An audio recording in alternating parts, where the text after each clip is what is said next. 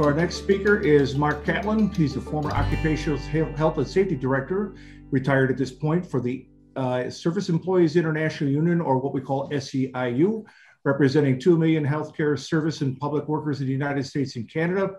He's an industrial hygienist and health and safety activist since 1991, and he's been involved in asbestos issues his entire career. Uh, Mark has a wonderful career, uh, one of the most knowledgeable people I know on the asbestos issue. And, sir, I'm going to go ahead and ask you to start your comments for us, and we look forward to it. Thank you, Tom. Thanks for that for that introduction. It's really good to be here at this year's conference. We really missed not having the conference last year, and uh, I'm also really honored to be able to participate in ADAO's prevention advisory board and and try to support the work of ADAO. This good work. Um, as Tom mentioned, I've, I've worked as an industrial hygienist and I'm still, I'm semi-retired now, still working, but uh, for more than 40 years, I, I've been doing this work. And when I started, asbestos was one of the major issues that I ended up working on. I was working with industrial manufacturing plant workers um, at a union, and, and this was a major issue that we had. Um, and even though I've often moved on to focus on other exposure issues and other hazards with other workers, asbestos always keeps coming back. And you know, and it's been frustrating to think that we we thought we got rid of it by the late 80s, early 90s as an issue, and it keeps coming back. And so, and and just more recently, I've been doing in this last 18 months mostly work around COVID-19 and protecting workers in schools and, and other, other settings. And what we've been running into more recently is that Congress had appropriated hundreds of billions of dollars to schools to do mitigation for uh, COVID protection of students and staff. And a lot of that is focused on ventilation systems and buildings. And the issue of the legacy asbestos that still remains is, is often unaddressed when this asbestos is being disturbed to protect people from COVID. So we have this legacy problem that keeps showing back up again. So I really appreciate and, and, and so appreciate the work of Linda and all the uh, all the ADAO volunteers and supporters because this work is so important. And I'd love to see this go away as a major issue before I end my time on the planet. I thought it would be done by the time I retired. That hasn't happened.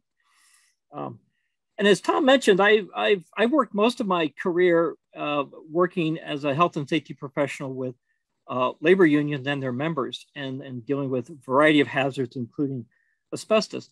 And the, you know, the tragedies that, that Rebecca mentioned and that Kelly mentioned with AFT, you know, I could repeat those same stories during my time with SEIU. We have lots of members in schools. We have members who clean buildings and maintain buildings. And so there's lots of potential for exposure. Many of our members are told by their employers, if they ask, that asbestos has been banned, as if that takes care of their problem. Or they'll be told, oh, it's a, it was all removed from the buildings many years ago. There's no problem. And our members are often very angry, very upset when they find out that this uh, that this was not true. And so this, you know, the work of ADAO is so important, both on the ban, uh, which is critical to finish that work, but also on the education to try to prevent these exposures to the legacy asbestos. SEIU was a leader in was one of the leaders in, in trying to control asbestos back in the 1980s. AFT and lots of other unions were part of that. Um, you know, and we won those key victories that, that Kelly mentioned, but we didn't win them all. And, you know, the, the ban was the major one that we lost on. And after that, we, we, in to a great extent, many of us in safety and health moved on to other issues because they came up. And we kind of hoped that the asbestos issue would be, uh, would be dealt with by the existing laws and regulations. Well, unfortunately, many of the agencies, EPA, OSHA, state agencies that had authority over asbestos, also seemed to move on. And I recall by the late 90s hearing from uh, hearing from many of these regulatory agencies that oh, there's training requirements and certification, and we don't have to worry about asbestos anymore. But a lot of us, you know, saw that this was really not true, and that things seemed to be getting worse. And uh, and so that's where we are today. Um, the I wanted to give a give a, a short since we've been telling wonderful stories here of I want to remember my friend Dan Midoff. Dan was a construction insulator who started in the 1970s. he was a member of the Asbestos Workers Union Local 97 in Anchorage, Alaska. And that's where I met Dan and worked with Dan. He was an early act- activist for the control of asbestos exposure because of his early exposures, and he had asbest- he had early stages of asbestosis as a fairly young man. In the 1970s, uh, when Dan moved to Alaska to work because of the Alaska pipeline and other reasons, uh, uh, there was a lot of asbestos being installed in uh, throughout facilities in Alaska. Alaska, it turns out, was a dumping ground for many of the major manufacturers because they couldn't sell products to more knowledgeable uh, uh, organizations in the lower 48 who were starting to see the coming ban on us on some asbestos products, but they were sold in Alaska. And so he used to joke that he spent the first half of his insulator career uh, installing asbestos products and that he would spend the second half of his insulator career removing them. Uh, but he was he was an early uh, he was an early worker in terms of developing and and and and learning about asbestos abatement techniques and respiratory protection and other another parts of that trade. He was an early teacher in his union and in, in the state of Alaska on both the dangers of asbestos and how to do abatement properly to, to both apprentice, apprentices and, and journeyman insulators. And I learned a lot about this work from him in my, in my early days as a young hygienist. Uh, unfortunately, Dan died from asbestos related um, diseases uh, a, a, little more than a decade ago, just before I attended my first conference uh, with ADAO. And so I, I, I, connect Dan's legacy and Dan's life with, with ongoing with ADAO's work. And so thank you so much again.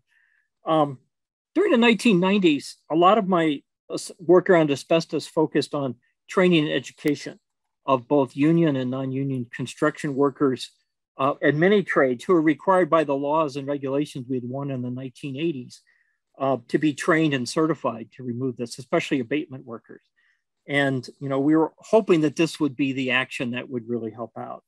Um, so, in the course of doing a lot of that and, and, doing a lot of that training, and and also starting to run into abatement workers who are now attending their 10th or 12th asbestos training refresher course, I, I started looking for ways to liven up and, and highlight some of the issues that seem to be dying out. And so um, what I discovered then was was uh, increasingly available uh, historical films about from asbestos producers. Johns Manville made films highlighting their products in the 20s and in the 40s and in the 60s.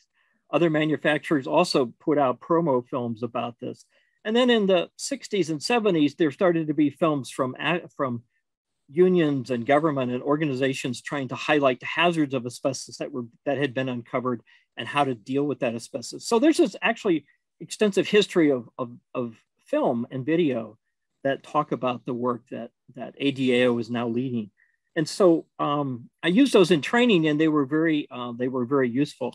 In 2006, when YouTube showed up, I started a, um, a channel of historical films and I would, and this is the URL, hopefully you can see that. And um, I want to encourage people to take a look at this site and to look at the asbestos films and use these because I think they become very helpful so that we don't forget that these manufacturers knew of these hazards, that they expanded the use of these products in, a, in an amazing way over many decades, and that we as, and that the government has also known about these dangers for a long time and has been slow to finally deal with it. So we want to keep this history alive and not let it forget.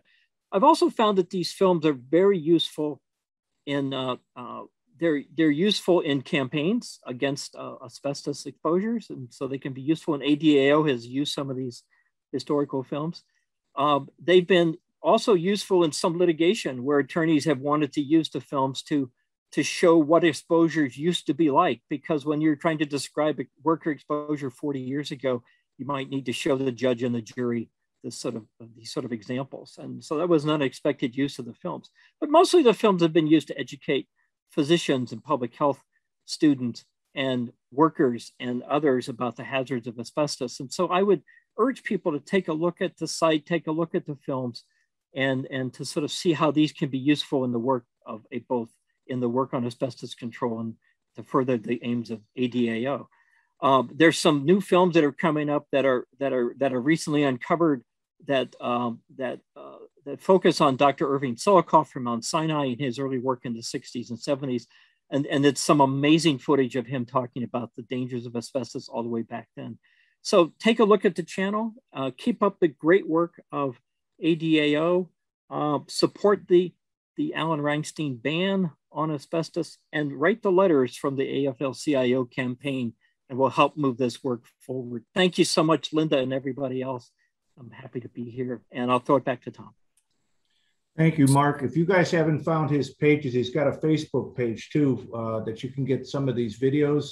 Um, as a someone that was in the training room for 35 years, uh, I found a lot of these things too, but I started using his web page and sending it to all kinds of people around the world that needed those uh, pieces of information. Some of the historical films he has are just wonderful. So thank you very much, Mark, for all of that.